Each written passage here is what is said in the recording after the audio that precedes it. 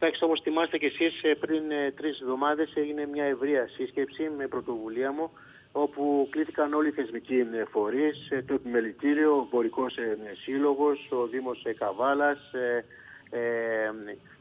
όλοι οι φορείς, προκειμένου να συζητήσουμε από κοινού και να εντατικοποιήσουμε ε, τις ε, διαμαρτυρίες μας ε, προς την Εγματία Οδό προκειμένου να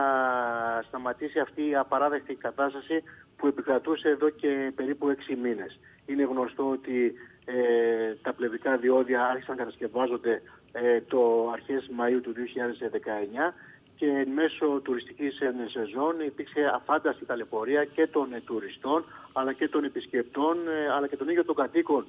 της, του ναι. νομού της Καβάλας οι οποίοι θέλαν να επισκεφτούν την πόλη της Καβάλας. Καταλαβαίνετε ότι πάρα πολλοί αναγκαστικά πηγαίνανε πάνω στον Άγιο Σύλλα, ε, κάποιοι χανόντουσαν ε, και κάποιοι ε,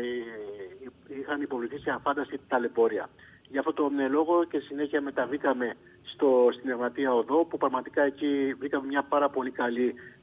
ατμόσφαιρα, ε, υπήρχε μια πάρα πολύ καλή διάθεση από τον ε, Διευθύνωνα Σύμβουλο όπου στην ε, συγκεκριμένη εκείνη σύσκεψη συμμετείχε ο βουλευτής ε, της Νέας Δημοκρατίας ο κύριος ε, Μακάριος Λαζαρίδης, ο Δήμαρχος Καβάλας, ο πρόεδρος του Επιμελητηρίου μαζί με τον Αντιπρόεδρο καθώς επίσης και ο πρόεδρος του, του ΤΕ, ο κύριος Απόστολος Παυλίδης και εγώ. Εκεί έγινε μια πιο ουσιαστική συζήτηση για όλα τα θέματα της Εγματία Οδού και μέσα στα θέματα που συζητήσαμε ήταν ότι ζητούσαμε με τα επιτάσεως να ανοίξουν και τα πλευρικά διόδια εν ώψη μάλιστα και των Χριστουγέννων και της ε, αυξανόμενης ε, κίνησης τουριστών και επισκεπτών που θα δεχόταν ο νομός της Καβάλας.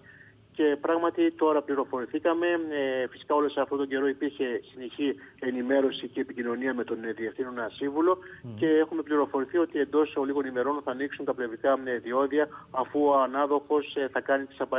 τις απαραίτητες εργασίες.